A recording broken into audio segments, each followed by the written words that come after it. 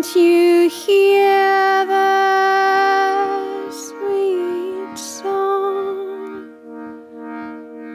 of the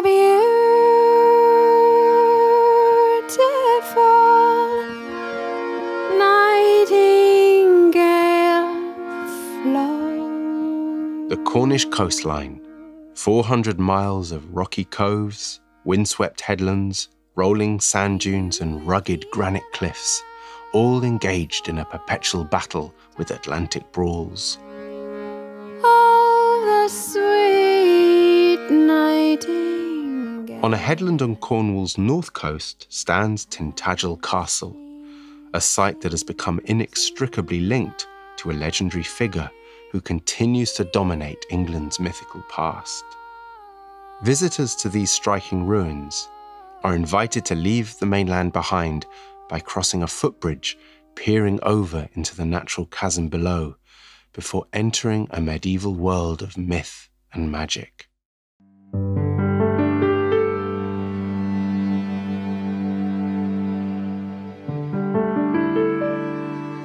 This is a castle that really owes its existence to a myth.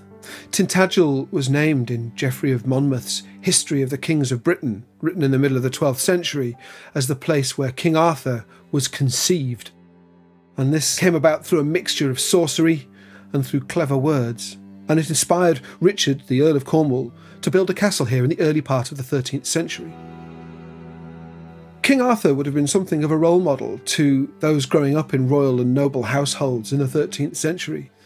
In building a castle here at Tintagel, Richard was clearly expressing his commitment to the chivalric ideals of the time that could be seen as embodied by King Arthur.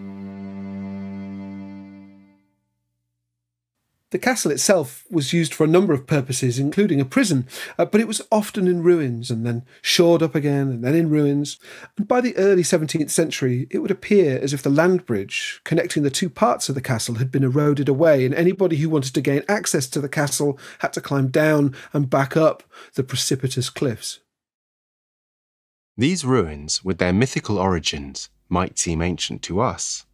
But if we look deeper back into the past, we discover clues about this site that relate to lives lived here many centuries before this castle was built.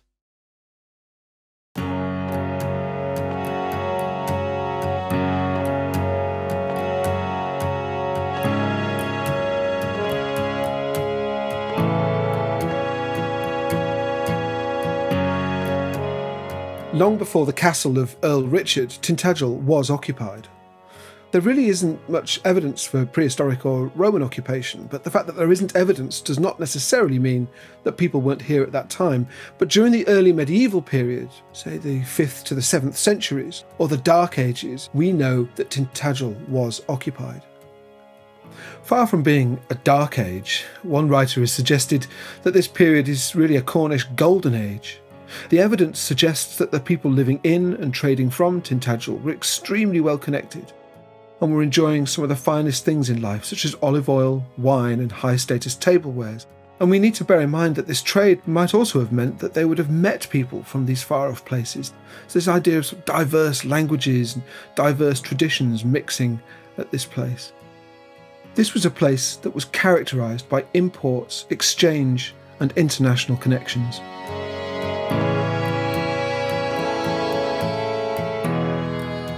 In gentle compliment to the grandeur of Tintagel Castle is an iconic slice of Cornish history, often thought of as a Cornish anthem, Sweet Nightingale.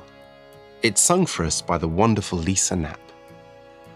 Affirming Cornwall's international stature, this song isn't actually local at all. It's a German import brought back to the southwest of England by Cornish miners who must have heard this beautiful tale whilst working in German tin mines in the 1800s. And neither is the nightingale local. They are migrant birds flying to Africa each year, and ironically, have never actually made it as far west as Cornwall. But then again, there was probably no King Arthur there either. My sweetheart.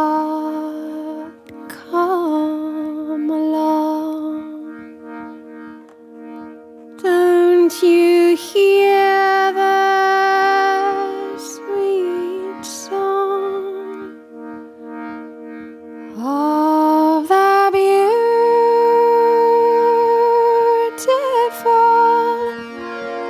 nightingale flow?